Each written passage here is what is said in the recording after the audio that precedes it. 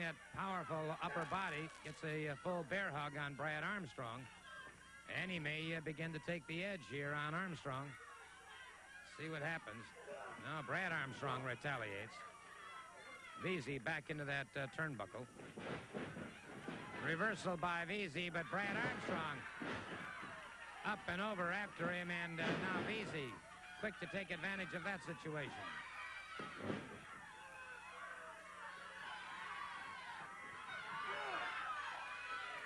Full body slam now by Dale Veazey. Veazey with a near fall on Brad Armstrong. Aha, Brad Armstrong staggered him that time. A Russian leg sweep by Armstrong.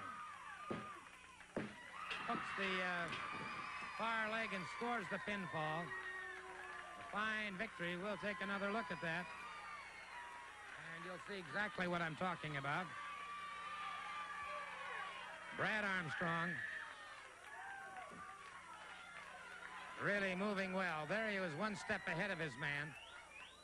And that staggered Veazey backwards. Now watch him hook into the uh, Russian leg sweep. Very quickly a float over.